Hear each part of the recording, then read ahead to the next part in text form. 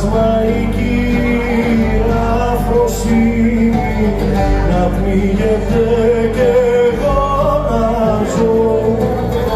Μέσα στις λίμνες των ματιών μου να πνίγεται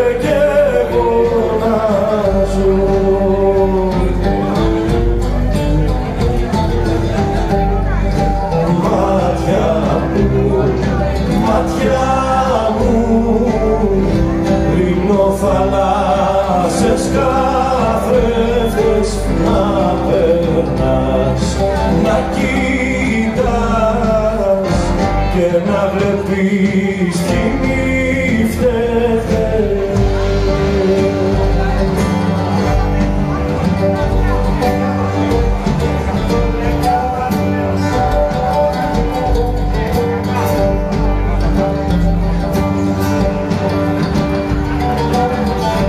θάλασσες των ματιών σου σαν του ευξήνου πόντου δυο εσένα δροσείς πεις μωρό μου και μη φοβάσαι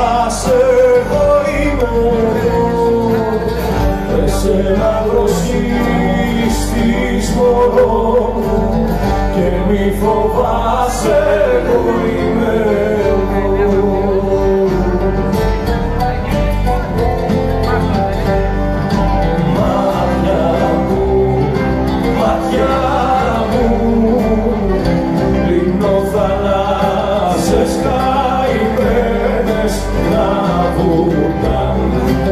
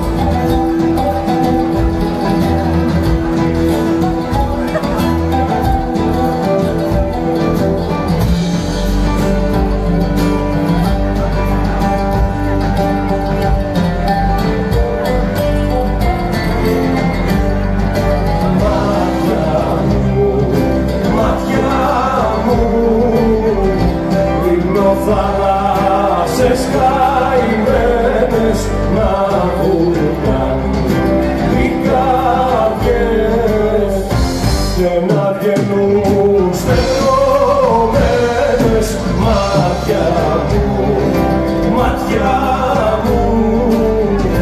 Λιμνοθάλασσες καθρέφτες να περνάς